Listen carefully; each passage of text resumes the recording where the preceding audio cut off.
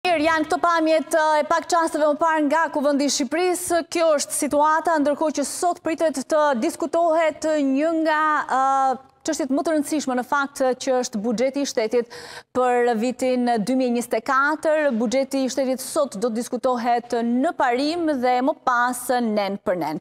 Mirë, shohim të tjera zhvillime të ditës së sotme. Ish-kryeministri Sali Berisha duhet të paraqitet në SPAK ditën e sotme në orën 10 para oficerëve të BKH-së dhe konkretisht para oficeres Adelaida Metaj për masën e sigurisë ndaj tij detyrim paraqitje dhe ndalim i daljes jashtë vendit në çështjen Partizani ku akuzohet për korrupsion pasiv.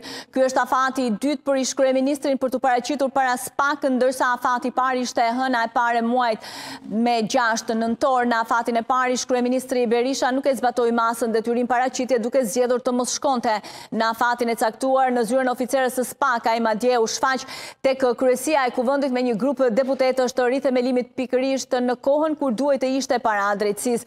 Sipas procedurës, nëse ish-kryeministri nuk paraqitet as në seancën e dytë të detyrimit për paraqitje ndaj tij nga gjykata, SPAK mund të kërkojë zëvendësimin e masës detyrim paraqitje dhe ndalim daljes jashtë vendi me një masë të re më të rëndë që mund të kërkohet edhe ajo e heqjes së imunitetit apo arrestit shtëpiak. Ndërkohë që prej orës nëntë të ditës së sotme Gjykata e Apelit ka nisur shqyrtimin e ankimimit të avokatëve të zotit Berisha ndaj vendimit të shkallës së parë. Mbrojtësit e zotit Berisha kanë kërkuar në apel deklarimin e humbjes së fuqisë së masës së parë pikërisht pasi sipas tyre kjo nuk është zbatuar brenda 48 orëve sipas neneve 228 dhe 229 të kodit të procedurës penale.